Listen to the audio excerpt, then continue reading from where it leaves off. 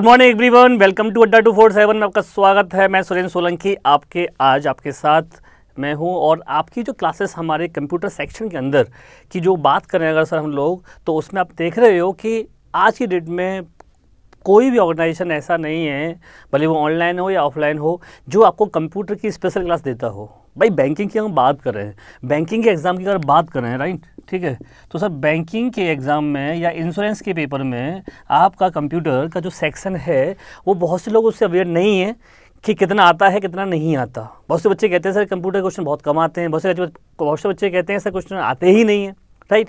बहुत बच्चे कहते हैं कि, सर, आरआरबी में आता है, एसबीआई में कुछ कम आता है, आईपीएस में कितने नंबर का आता है, पता नहीं है। राइट? तो सर, ये चीज़ बड़ी कन्फ्यूज़न है बच्चों की, और कुछ बच्चे तो ऐसे भी हैं जो बच्चों को नहीं पता होता, दूसरा कोई फ्रेंड कहता है उससे कि, भाई, उसमें ना कंप्यूटर नहीं आता। और उसमें कंप्यूटर आता है। तो बच्चे कई बार ऐसे भी हो जाते हैं कि किसी फ्रेंड की बात को मान लेते हैं और फिर उसको नहीं पढ़ते हैं। तो ऐसी गलती नहीं करनी है भाई। ठीक है? आपको यहाँ पर बिल्कुल फ्री ऑफ़ कॉस्ट मैं आपके साथ यहाँ पर कुछ क्लासेस कंप्यूटर लेके आ रहा हूँ, ठीक है? और उसमें हम लोग बहुत सारे क्वेश्चंस की प्रैक्टिस करेंगे पहले, ठीक है? जिससे आप लोगों को ये पता लगे कि कंप्यूटर क्वेश्चन किस तरीके के आते हैं, किस तरीके के नहीं आते हैं राइट और किस एग्ज़ाम में किस लेवल का पेपर आता है और किस एग्ज़ाम में किस पेपर के क्वेश्चन नहीं आते हैं राइट ये जानना बहुत ज़रूरी है। तो देखो यार, सीधा सा है, जब भी बैंकिंग की बात आती है तो कंप्यूटर का देखो यार, कोई बच्चा ऐसा नहीं है यहाँ पर जो तैयारी करता है। वो ये सोचता हो कि सर मेरे को केवल ना, केवल मेरे को आर बी तैयारी करनी है, मुझे एसबीआई नहीं करना, या मुझे केवल एसबीआई तैयारी करनी है, मुझे आर नहीं करना, या मुझे I P S P O नहीं बनना, ऐसा किसी का कोई कॉन्सेप्ट नहीं है। बच्चा ये चाहता है कि सर मुझे बैंकर बनना है, और बैंकर बनने के लिए वो सर मैं I P S P O बनूँ या फिर एसबीआई का पी बन जाऊँ, या फिर आर का पी बन जाऊँ, या किसी भी बैंक में क्लर्क में हो जाए, बस मेरा सिलेक्शन हो जाए। आज की डेट में ये कंडीशन है बच्चे की। लेकिन अब बच्चा जब पढ़ता है सर तो वहाँ पर वो मैथ पढ़ता है रीजनिंग पढ़ता है राइट इंग्लिश पढ़ता है जीए पढ़ता है, और कंप्यूटर का सेक्शन भी पढ़ता है। ये पाँच सेक्शन आपके एग्ज़ाम में को मिलते हैं। राइट जिसमें आप लोग देखते हो कि भाई तीन सेक्शन आपके प्री में आते हैं तो इसमें बच्चे का ध्यान सबसे ज़्यादा होता है। क्योंकि प्री क्वालिफाई करना है। ये पाँचों सेक्शन आपके आते हैं मेंस में राइट तो मेंस में बच्चे थोड़े से हमारे क्या करते हैं, यहाँ पर, इस वाले पार्ट पर जी वाले पार्ट पर कंप्यूटर वाले पार्ट पर, इन दो पार्ट पर ध्यान कम देते हैं। ये बाई डिफ़ॉल्ट है उनके अंदर कि भाई हाँ इन दो पार्ट को ना हम बाद में देख लेंगे, क्योंकि क्या रीज़न है उसके पीछे कि वो मेंस में आता है। लेकिन सर ये बताइए आप मेरे को कि भाई मैथ और रीजनिंग इंग्लिश है, ये तीन पढ़ोगे आप प्री आपका क्वालिफाई हो गया, ठीक है? इसको आपने क्वालिफाई कर लिया अपनी मेहनत से राइट अब बात आती है मेंस के पेपर की राइट मेंस का पेपर सर देना है आपको तो पाँच सौ सब्जेक्ट देने और इन पाँचों सेक्शन के अंदर आप इस चीज़ को नोट कर लीजिएगा भाई कि सबसे ज़्यादा जो नंबर लेने देने वाला सब्जेक्ट है आपको वो है जनरल अवेयरनेस जी, जिसमें सबसे ज़्यादा बच्चे के नंबर आते हैं या आ सकते हैं। अब बहुत से बच्चे ऐसे भी होते हैं जिनके नंबर नहीं आते अच्छे। ठीक है? क्यों? क्योंकि वो ध्यान कहाँ देते हैं? मैथ और रीजनिंग इंग्लिश पर। कितना भी अच्छा मैथ कर लो, कितनी भी अच्छी रीजनिंग कर लो, सर, इसमें नाम जो नंबर ऑफ़ मार्क्स हैं आपके, वो एक एवरेज स्कोर में आते हैं। रीज़न उसके पीछे ये है कि पेपर हार्ड आता है, अगर हम बात करें यहाँ पर I P S P O की या S B I P O की तो वहाँ पर कट ऑफ़ भी क्या होती है? कम जाती है। पेपर अगर ईजी आता है तो कट ऑफ़ ज़्यादा जाती है। क्लर्क को ले लो आप।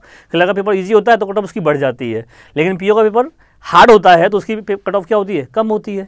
इस रीज़न से बच्चे को ये देखना है कि सर, हमें आखिर क्या करना है कि भाई हमारा मेंस भी क्वालिफाई हो और प्री भी क्वालिफाइड हो। लेकिन मेंस क्वालिफाइड होने का मतलब ये नहीं है कि भाई आपने 60 मार्क्स ले ले राइट और कट ऑफ़ गई आपकी, मान लेते हैं फॉर एग्जांपल 58 पर।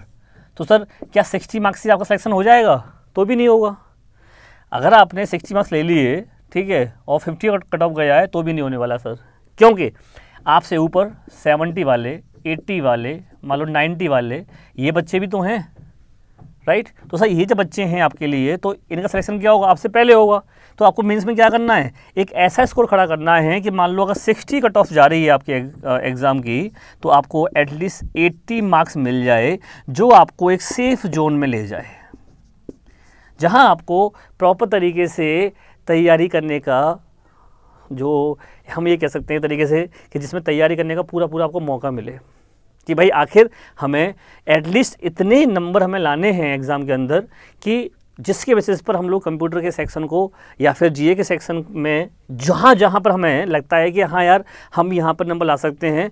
वो नंबर हमारे इतने अच्छे स्कोर कर दें हम उस उन सेक्शन के अंदर, जिसमें हमारा स्कोर एक ऐसे लेवल पर पहुँच जाए, जहाँ से ऐसा ना हो कि या मैं पॉइंट फाइव से रह जाऊँ, या मैं पॉइंट वन से रह जाऊँ, या मैं पॉइंट टू फाइव से रह जाऊँ। तो बहुत बड़ी बात है पॉइंट टू फाइव से या पॉइंट फाइव ज़ीरो से भी रह जाता है। तो सर, उन बच्चों को उस टाइम बड़ा दुख होता है कि यार ये क्या हुआ मेरे साथ? मैं थोड़ा सा और पढ़ लेता थोड़ा सी मेंस में और मेहनत कर लेता तो भाई क्यों नहीं मैं यहाँ पे एक अच्छा सिलेक्शन ले सकता था? ऐसा बिल्कुल फील होता है बच्चे को। कई बार बच्चे से आगे हमसे कहते हैं कि सर मेरे साथ ऐसा हुआ। और इस, जिसके अंदर आप देखें कि भाई मैथ है मैथ में आप देखोगे सर टाइम अच्छा खासा मिल रहा है आपको रीजनिंग में भी टाइम अच्छा खासा मिल रहा है।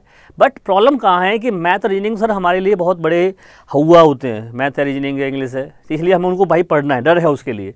लेकिन जीए है, कंप्यूटर है, इसे बच्चा ध्यान देता है कि चलो जीए हो जाए, कोई दिक्कत नहीं है। लेकिन सर आप देखो ना, भाई 40 नंबर का आपका जीए आ रहा है 40 क्वेश्चन आ रहे हैं आपको 40 मार्क्स दे रहा है जीए, ठीक है?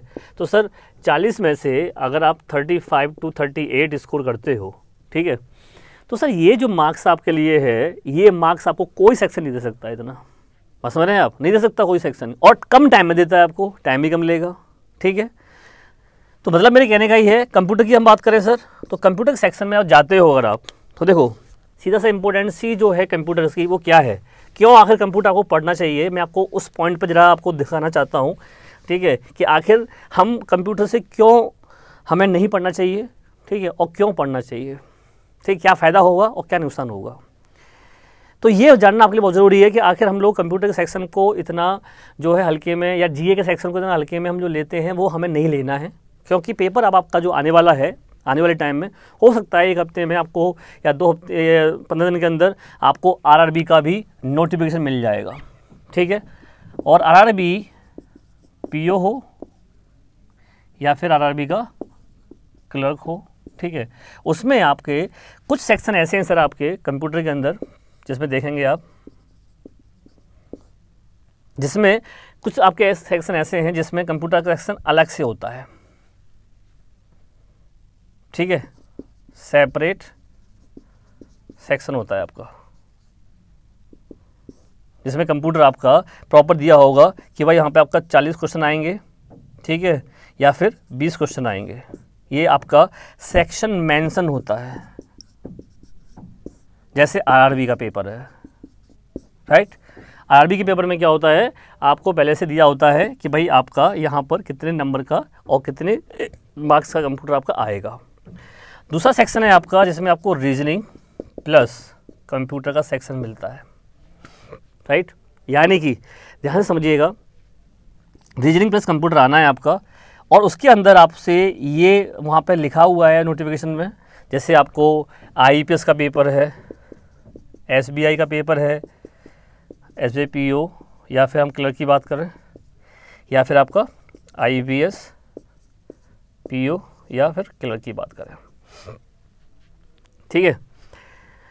तो यहाँ पर देखोगे सर आप तो यहाँ पे आपको कंप्लीट आपको रीजनिंग प्लस कंप्यूटर मिलेगा। अब इसमें सर यहाँ पर ये रहता है कि भाई वो कितने क्वेश्चन देगा कंप्यूटर के, ये डिपेंड करता है आपके एग्ज़ाम के ऊपर। हो सकता है एक भी ना दे, हो सकता है पाँच दे दे, हो सकता है दस भी दे दे, ठीक है? हो सकता है कि कंप्यूटर एप्टीट्यूड के नाम पर वो बाइनरी नंबर सिस्टम से या फिर आपका लॉजिक गेट से या कंप्यूटर के एप्टीट्यूड से क्वेश्चन दे देता है आपको यहाँ पर।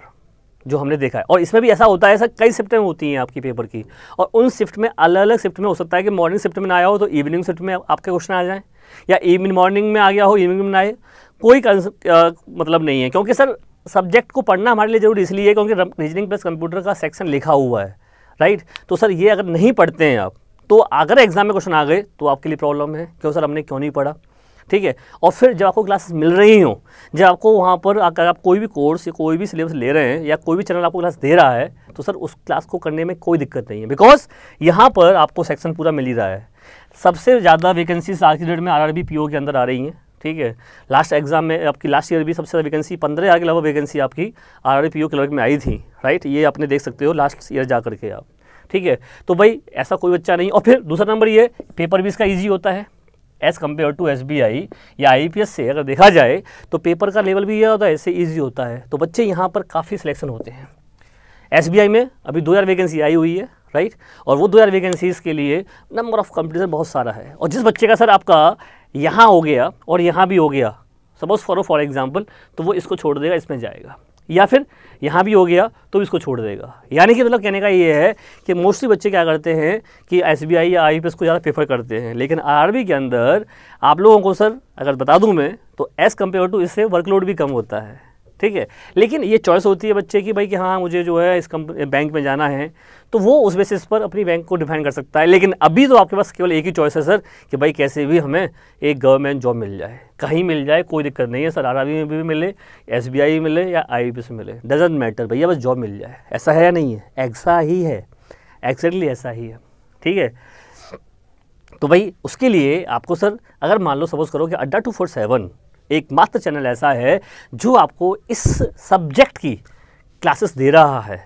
इस सब्जेक्ट को आपको पढ़ाने के लिए अलग से सपोज़ करो कि मैं, सुरेंद्र सोलंकी, मुझे इस चीज़ की बोला है कि सर, आपको यहाँ पर क्लासेस देनी है, जो बच्चे हमारे ऐसे हैं, जो तैयारी कर रहे हैं और जिनको कंप्यूटर क्लास नहीं मिल पा रही हैं, या फिर जो रिकॉर्डेड वीडियो लिंक पड़े हो पुराने हो चुके हैं तो कुछ नया बच्चों के लिए नई अपडेट के साथ में उनको क्वेश्चंस दीजिए, जिससे कि उन बच्चों का कोई भी ऐसा, मान लो फॉर एग्ज़ाम्पल यार, मैं तो इतना कहता हूँ कि अगर आपने वो नंबर यहाँ कंप्यूटर में ही खींच दिए, दो नंबर आपने कंप्यूटर में एक्स्ट्रा लिया है आप, और उन दो नंबर सिलेक्शन हो गया सर तो वो आपको लाइफ में याद रहेगा। और बच्चे सर मेरे पास ऐसे भी आते हैं कई बार तो जो चुपचाप से आके कहते हैं सर मैं ना आर के पेपर दिया सर सब में पास हो गया, बस कंप्यूटर में रह गया। तो ऐसा आपके साथ ना हो सके भाई। ये आपको ध्यान देना है विशेष रूप से कि मेरे साथ ऐसा ना हो कि मैंने सब कुछ कंप्यूटर के अंदर, यानी मैथ किया रीजनिंग किया इंग्लिश किया जीए भी कर लिया। और पेपर में, मैं कहीं ना कहीं कहाँ रह गया कंप्यूटर में। ऐसे कई सारे एग्ज़ाम्पल हैं जो बच्चे इस वीडियो को देख रहे होंगे अगर ऐसा उनके साथ हुआ होगा तो उनको ज़रूर इसका वैल्यू पता चल रहा होगा कि हाँ सर, ये बिल्कुल सही बात है कि ऐसा होता है। तो सर, ऐसा हो चुका है, वो अलग मैटर लेकिन अब आगे आपके साथ ऐसा ना हो। उसके लिए आप लोगों से मैं ज़रूर कहूँगा कि हमारी जो ये क्लासेस हैं कंप्यूटर की, ठीक है, इन्हें आप लोग प्रॉपर रेगुलर बेसिस पर देखते रहिए, ठीक है, और जिन बच्चों ने इस चैनल को सब्सक्राइब नहीं किया है तो वो सब्सक्राइब ज़रूर करिएगा और बेल आइकन प्रेस कर दीजिएगा, जिससे कि आपको इसके नोटिफिकेशन मिलते रहें राइट अभी ये मेरा आपके पास जो लिंक आपको मिलते रहेंगे, इस तरह से यूट्यूब पर आप लोग इसको देख सकते हो। तो यहाँ पर जो सबसे पहले हम सबसे पहले जो क्लासेस स्टार्ट करेंगे, वो आपके जो मोस्ट क्वेश्चंस हैं इंपॉर्टेंट क्वेश्चंस जिससे आपका किस किस लेवल के क्वेश्चन बनते हैं, किस तरीके के क्वेश्चन आते हैं एग्ज़ाम में बैंकिंग के एग्ज़ाम हो, देखो, एक चीज़ खास बात और इसमें कि ऐसा ही नहीं है कि कंप्यूटर का सेक्शन केवल आपका बैंकिंग में ही आता है। बैंकिंग के अगर अलावा मैं बात करूँ सर तो अभी भी भी एक मेरे पास बच्चे का रिक्वेस्ट आया कि सर हमारा एक पेपर है, किसी डिस्ट्रिक्ट कोर्ट का पेपर है राइट और वहाँ पर कोई क्लर्क की वैकेंसी है या कंप्यूटर ऑपरेटर की वैकेंसी है, वहाँ पे आया हुआ है तो सर वहाँ पर भी आपका यही सिलेबस काम आता है जो मैं आपको यहाँ कराऊँगा। ठीक है? या फिर इंश्योरेंस है। ठीक है? वहाँ पर भी आपका कंप्यूटर का सेक्शन आता है। ठीक है? या फिर इसके अलावा आप जाते हो, ठीक है तो आई बी इंटेलिजेंस ब्यूरो का पेपर हुआ था। ठीक है? वहाँ भी कंप्यूटर सेक्शन आया था आपका। ठीक है? और इसके अलावा और आप जाते हैं तो एसएससी है तो वहाँ भी आपको दो तीन क्वेश्चन आपको उसमें भी मिल जाते हैं। ठीक है? इसके अलावा और आप जाते हैं सर तो कई सारे ऐसे एग्ज़ाम हैं, ठीक है? जहाँ पर जैसे हम बात करें टीचर बनना चाहते हैं आप तो के है, या फिर डी एस एस बी है, या फिर आपका एन वी एस है, वहाँ पर भी कंप्यूटर सेक्शन आता है। और यार दो सीधी सी बात है कि आप को कंप्यूटर का क्वेश्चन आए या ना आए, ठीक है? लेकिन फिर भी आपको ट्रिपल सी आना चाहिए। मतलब ये सर्टिफिकेट आपके पास होना भी चाहिए और इसका क्वालिफिकेशन आपके पास होना चाहिए। बैंकिंग के जितने भी एग्ज़ाम होते हैं, उन एग्ज़ाम के अंदर ये ट्रिपल सी ठीक है, का सर्टिफिकेट मांगा जाता है। और ये जो हमारा पूरा बैंकिंग का सिलेबस है, या फिर कंप्यूटर ऑपरेटर का सिलेबस है, या फिर किसी भी एग्ज़ाम में जितने भी एग्ज़ाम में आपका कंप्यूटर जो फंडामेंटल आता है, उसके आप, अंदर आपका ट्रिपल सी का ही एग्ज़ाम आता है, समझ लो आप।